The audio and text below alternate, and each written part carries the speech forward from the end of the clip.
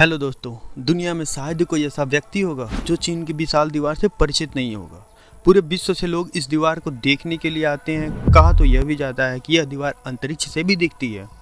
अंग्रेज़ी में great wall of China के नाम से जाने जाने वाली यह दीवार दुनिया के सात अजूबों में शामिल है। इसकी वजह यह है कि यह दुनिया की सबसे लंबी दीवार है। आपको जानकर हैरानी होगी कि इस दीवार को दुनिया का सबसे बड़ा कब्रिस्तान भी कहा जाता है। लेकिन क्यों? आइए जानते हैं इसके पीछे की हैरान कर देने वाली कहानियाँ।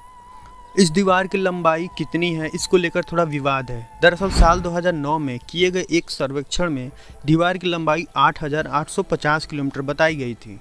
लेकिन साल 2012 में चीन में ही किए गए एक राजकीय सर्वेक्षण में यह बात गलत साबित हो गई। उस सर्वेक्षण में बताया गया कि चीन की दीवार की कुल लंबाई इक्कीस किलोमीटर है। सर्वेक्षण की यह रिपोर्ट चीन के प्रमुख समाचार पत्र सिन्हुआ में भी प्रकाशित हुई थी।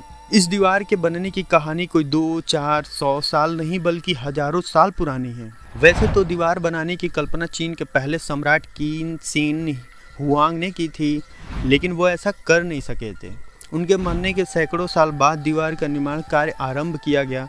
माना जाता है कि इसे बनाने की शुरुआत ईसा पूर्व पाँचवीं शताब्दी में हुई थी, जो सोलहवीं शताब्दी तक चली। इसका निर्माण एक नहीं बल्कि चीन के कई राजाओं ने अलग अलग समय में करवाया है। कहा जाता है कि इस दीवार का निर्माण दुश्मनों से चीन की रक्षा के लिए किया गया था, लेकिन ऐसा हो नहीं सका था। 1211 ईस्वी में मंगोल शासक चंगेज खान ने एक जगह से दीवार को तोड़ दिया था और उसे पार कर चीन पर हमला कर दिया था।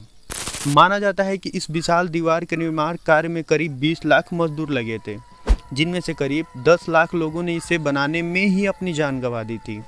कहते हैं कि उन लोगों को फिर दीवार के नीचे ही दफना दिया गया था। यही वजह है कि चीन के इस महान और विशाल दीवार को दुनिया का सबसे बड़ा कब्रिस्तान भी कहा जाता है।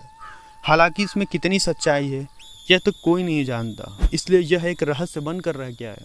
अगर आपको ये वीडियो पसंद आती है तो इसे लाइक, शेयर और सब्सक्राइब ज़रूर करें।